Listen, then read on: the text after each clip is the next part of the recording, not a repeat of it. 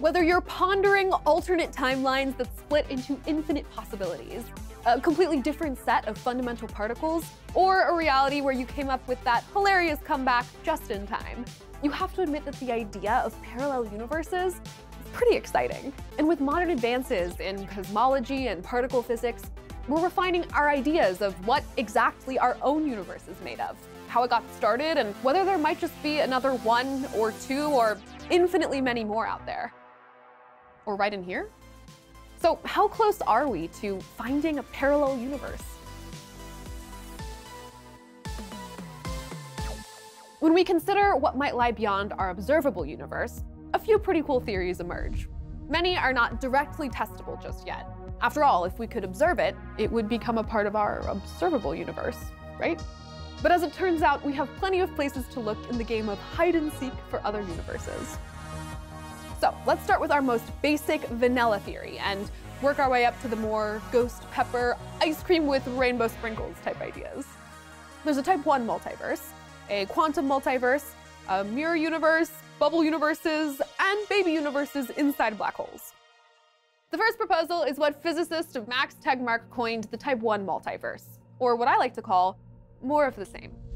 One version is just to say that we can observe some finite region of the universe, but there's probably more out there. So that sort of multiverse almost certainly exists. It just says that the universe is much bigger than the universe that we can see, but that's not that much of a surprise. Okay, but if our own universe is defined by what we can observe, what if it's those observations themselves that spawn more universes? What if every time you chose an ice cream flavor, for example, 30 other universes branched off where all other possible outcomes came to fruition?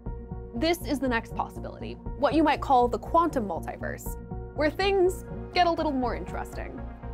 The multiverse, where whenever something in the quantum world happens, the universe kind of splits into two copies. This is the so-called many-world version of quantum mechanics. You know, in quantum mechanics, you can have version A of something and version B, and usually that's something like an electron. But, you know, it doesn't weird us out that much that there's two versions of an electron. There are experiments that are now making two superposed, that is kind of added up versions of complex molecules. There are people who are even trying like the simplest viruses.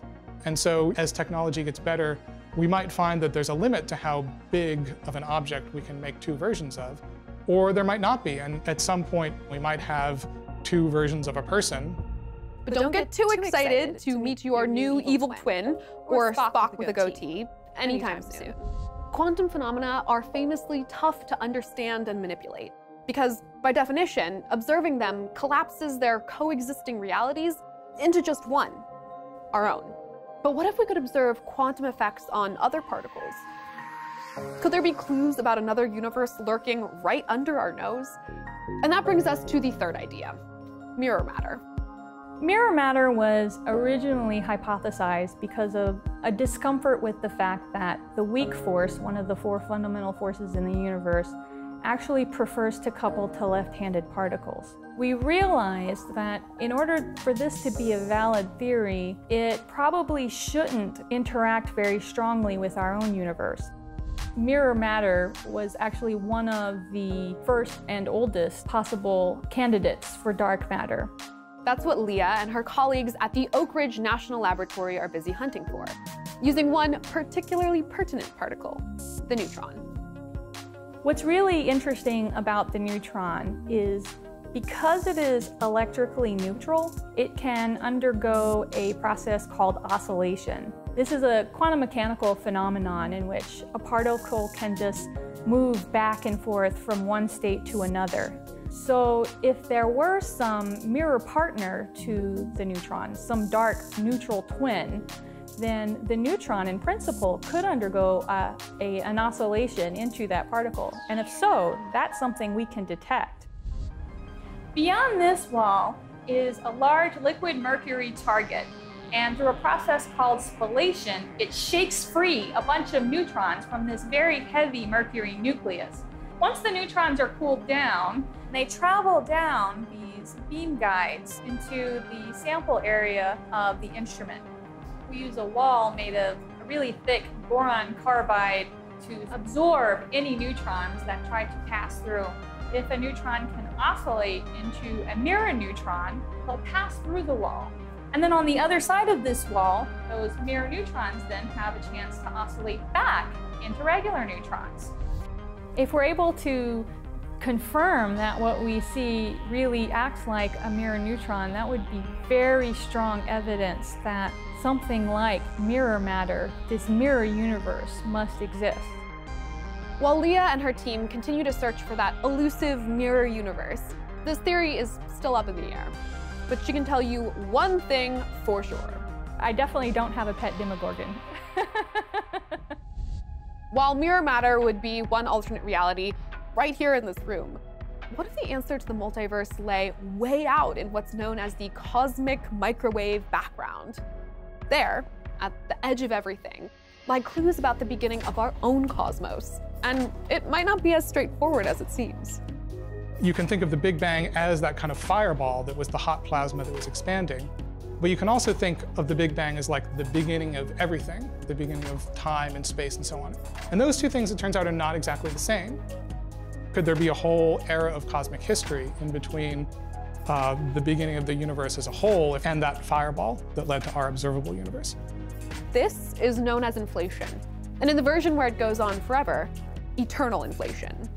Inflation is the idea that something as small as a kilogram of material can be blown up to become the entire observable universe and more. This inflation process, it turns out, is very, very, very effective. So it doesn't just create the observable universe, or even a million times bigger, but it generally keeps going, creates huge amounts of space and time, um, including possibly regions of space-time with very different properties than the one that we inhabit. There are these other big regions that we might call universes, but they might have very different properties, different laws of physics, different constants that might have beings in them and so on, that might even have a different number of dimensions, all brought about by a single process. And there are a few ideas about what exactly that process entails. One flavor suggests that the multiverse might look something like a root beer float, where our universe is just one in a series of bubbles. It's a little bit too far away. Now imagine that there's some sphere that smashes into this, right? It'll bruise, it'll dent one side of this. And that's exactly what a collision with another bubble would do. It would create a sort of disk on the sky that was a little bit different than every other direction. My collaborators and I have actually done this, taken the microwave background data, looked for these signatures, looked for patches on the sky. We found some, that's the exciting thing. The unexciting thing is that the things that we found are totally explainable as just random variations in the regular microwave background. With more and better data on the edge of the universe, we could study features like temperature and light polarization of the CMB in more detail to do more sensitive tests for this kind of impact.